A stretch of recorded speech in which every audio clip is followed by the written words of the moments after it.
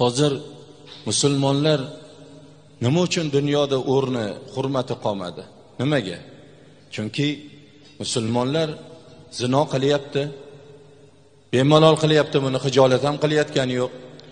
Musulmonlar birovni oilasini buzyapti musulmonlar birovga tuhmat qilyapti musulmonlar yolg'on gapiryapti musulmonlar oldi berdilarda g'ayri dinlardan o'tib ketdi. Oldi berdilarda xiyonatda. Olgan narsasini bermaslik aldam qaldam tarozida uryapti musulmonlar. Musulmonlar ayoli ochiq sochiq yuribdi. Musulmonlar namoz o'qimayapti. Musulmonlar xudo buyurgan ishlarni qilmayapti va qaytarganidan ham qaytmayapti. To'y qilyapti to'y to'yday bo'lsin deb aroq qo'yyapti mast qilyapti shunga pul sarflayapti shuning uchun ham musulmonlarni unaqa hurmati qolgani yo'q. Aziz o'zbekiston xalqi ahli musulmonlar man bemor toshbolteva diloromxon yoshim yigirma to'qqizda o'tgan yil avtohalokatga uchraganman va hozirda ikkinchi guruh nogironiman avtohalokatdan keyin turmush o'rtog'im endi menga nogiron ayol kerak emas deb mandan va farzandlarimdan voz kechib ketishgan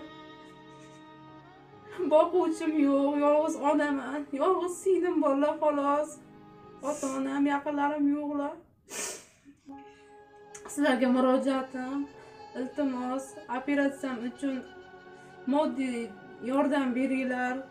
Inshaalloh endoprotez va kalsiy operatsiyasidan keyin man ham siz kabi sizlar qatori yurib keta olaman. Man sizni farzandlarim qiynalishyapti ular hali yosh. Rostdan ham moddiy tomonlama operatsiyaga operatsiyani operatsiyaga moddiy tomonlama sharoitim yo'q. Iltimos olloh yo'lida yordam beringlar.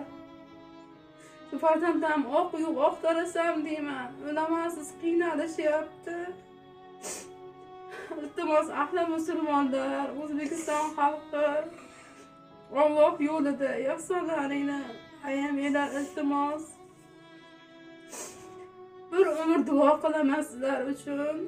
Yurib ketsam va siz kabi ham